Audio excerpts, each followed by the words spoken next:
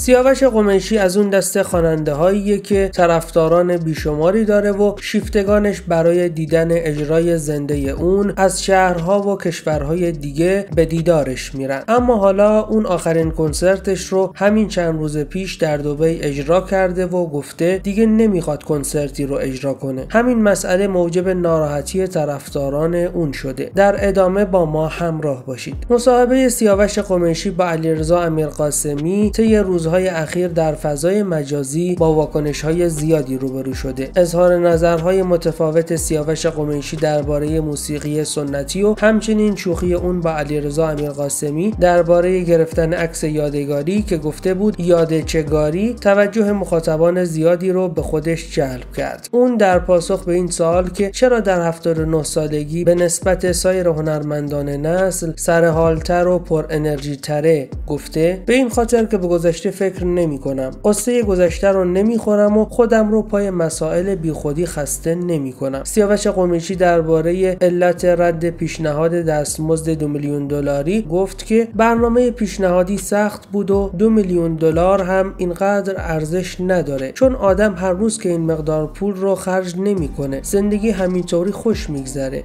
نگرانی ندارم. هیچ وقت حرس پول رو نمی‌خورم و اصلا دوست ندارم مدام حساب بانکیم رو چک بکنم. به اندازه که هزینه های زندگی رو توی خونه کوچیک و باصفا و در کنار یک یار باصفا و سگهامون تأمین کنم پول دارم و بیشتر از این هم احتیاج ندارم. اون در پاسخ به این سوال که برای خوندن با چه خواننده ای احساس راحتی می‌کنه گفت با هیچ خواننده ای سیاوش قمیشی درباره زمان خداحافظی و بازنشستگیش هم گفت خداحافظی اصلا سخت نیست و وقت اون رسیده. احتمالا بعد از اجرا در استانبول و دبی از اجرای زنده خداحافظی می‌کنم. البته کار آهنگسازی و خوانندگی من ادامه پیدا می‌کنه. از این به بعد هر دو ماه یک بار منتظر یک آهنگ جدید باشید. آهنگ بعدی توهم نام داره. اون درباره تنها همکاری خود با شادمهر عقیلی گفت شادمهر عقیلی وقتی در ایران بود با من تماس گرفت و گفت می‌خواد آهنگ پاییز و ترانه اون رو که من سروده بودم بخونه و من هم موافقت کردم. شادمهر عقیلی آهنگساز و نوازنده بسیار خوبیه. سیاوش قمیشی درباره چگونگی ساخت آهنگ گفت در خلوت آهنگسازی می‌کنم و شرایط به خصوصی ندارم. همیشه شعری رو که انتخاب می‌کنم اونقدر می‌خونم تا حفظ بشم و شعر خودش به من میگه چه کار باید بکنم. اما حالا و به تازگی ویدیوهایی از کنسرت سیاوش قمیشی در دبی منتشر شده که گفته میشه این آخرین کنسرت سیاوش قمیشی بوده و اون رسما دیگه اجرای زنده ای نخواهد داشت و از اجرای زنده خداحافظی کرده. اون در مصاحبهش با بیان اینکه فرنگیس رو در 17 سالگی ساختم و در انگلیس در رشته جاز کلاسیک تحصیل کردم. گفت اون موقع سواد موسیقی لازم بود اما الان کامپیوتر خودش به تنهایی همه این کارا رو انجام میده. سیاوش قمیشی با تاکید بر اینکه هرگز در هیچ کنسرتی لب نزده گفت آهنگ های قدیمی رو کمتر در کنسرت ها اجرا می‌کنم. چون کنسرت جای بزن و بکوبه. یک بار آهنگ تصور کن رو در یکی از کنسرت ها خوندم و سه چهار تا آهنگ طول کشید تا مردم از اون حال هوا خارج بشن من با موسیقی سنتی ارتباط برقرار نمی کنم و مطلقا گوش نمیدم. کسانی که موسیقی سنتی گوش میدن باورهایی دارند که هنر نزد ایرانیان است و بس. خاک ما سرچشمه هنره اما اینطوری نیست که فقط خاک ما سرچشمه هنر باشه. موسیقی پاپی که امروز میشنویم فقط کلام فارسیه و تا حدی تنظیم ایرانی داره. در مجموع مخلوطی از ترکی عربی یونانی و مدیترانه‌ایه. و ما از خودمون چیز به خصوصی نداریم.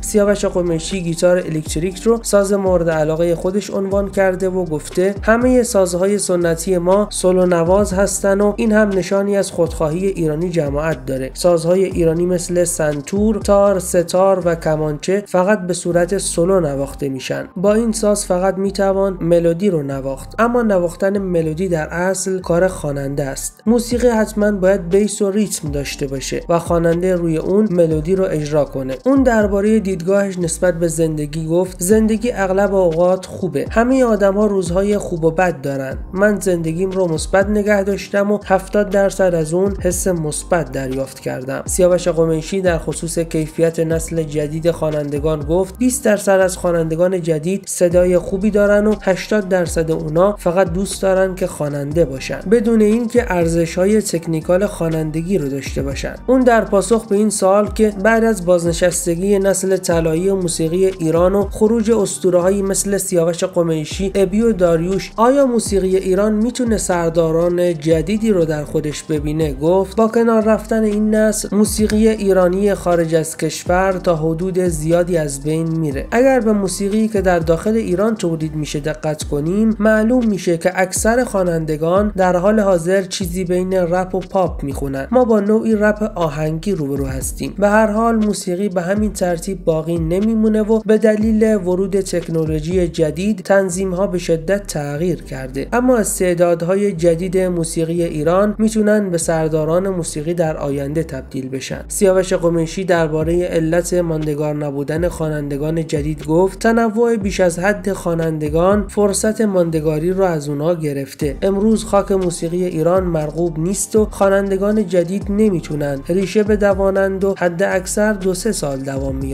ما قبل از انقلاب فقط سی خواننده داشتیم. اما الان بیش از سه هزار خواننده داریم و همین تنوع بیش از حد کار رو دشوار می‌کنه. اون گفت ارتباط با جوونا رو خیلی دوست دارم چون اونا پاک هستند آلوده نیستن و فکر بهتر و سالمتری دارن. علت ارتباط خوب من با جوانها به نوع کلام و ملودی و تنظیم آثار من باز میگرده. سیاوش قمیشی درباره علت امتناعش از گرفتن عکس یادگاری با مردم گفت من به هیچ وجه خجالتی نیستم اما اصلا حوصله ندارم با مردم عکس بگیرم. از ساخت موزیک ویدیو هم بیزارم. اون در پاسخ به این سوال که در این سالها آهنگسازی برای کدام خواننده راحت تر بوده گفت گوگوش. چون گوگوش خودش سوار کاره و به حرف آهنگسازم گوش میده. سیاوش قمیشی درباره رابطه فعلیش با گوگوش و نظرش درباره میزان موفقیت آلبوم 21 گفت نمی‌دونم آلبوم موفقی بود یا نه. البته من از اون راضی بودم. با این حال این آلبوم اصلا تبلیغ نشد و ویدیویی هم براش ساخته نشد. در زمان ساخت آلبوم زیاد همدیگر رو می‌دیدیم و معاشرت می‌کردیم. اما در حال حاضر هیچ رابطه ای با گوگوش ندارم. هر کدوممون گرفتار کار خودمون هستیم. بعد از آلبوم ارتباطم با اون قطع شد.